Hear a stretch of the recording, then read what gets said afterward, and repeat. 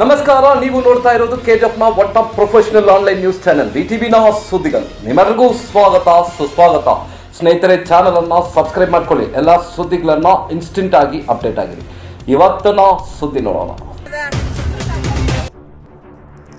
ಕರ್ನಾಟಕ ಸರ್ಕಾರ ಶನಿವಾರ ಮತ್ತು ಭಾನುವಾರದ ವಾರಾಂತ್ಯದ ಕರ್ಫ್ಯೂ ಅನ್ನು ರದ್ದುಗೊಳಿಸಿದೆ. ಎಲ್ಲ ಅಂಗಡಿಗಳು, ದೇವಾಲಯಗಳು, ಚರ್ಚ್ಗಳು, ಮಸೀದಿಗಳನ್ನು ತೆರೆಯಲಾಗುತ್ತೆ. ಜನವರಿ ಮೂವತ್ತೊಂದರವರೆಗೂ ರಾತ್ರಿ ಹತ್ತರಿಂದ ಐದು ಗಂಟೆವರೆಗೂ ಕರ್ಫ್ಯೂ ಮುಂದುವರಿಯುತ್ತದೆ.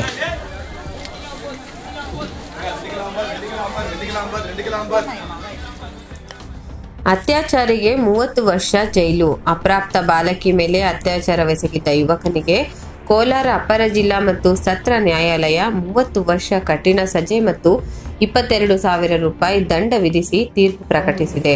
ಎರಡು ಸಾವಿರದ ಹತ್ತೊಂಬತ್ತರ ಅಕ್ಟೋಬರ್ ಹತ್ತರಂದು ಮನೆಯಲ್ಲಿ ಒಂಟಿಯಾಗಿದ್ದ ಅಪ್ರಾಪ್ತ ಬಾಲಕಿ ಮೇಲೆ ರಾಬರ್ಟ್ಸನ್ ಪೇಟೆಯ ಮಂಜುನಾಥ ನಗರದ ಇಪ್ಪತ್ತಾರು ವರ್ಷದ ಯುವಕ ಕುಟ್ಟಿ ಅಲಿಯಾಸ್ ತಮಿಳರಸನ್ ಅತ್ಯಾಚಾರವೆಸಗಿದ್ದ.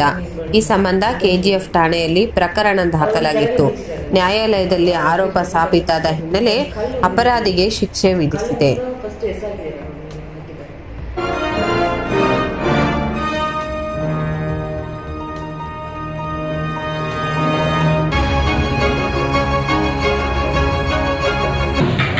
ಬೇರೆ?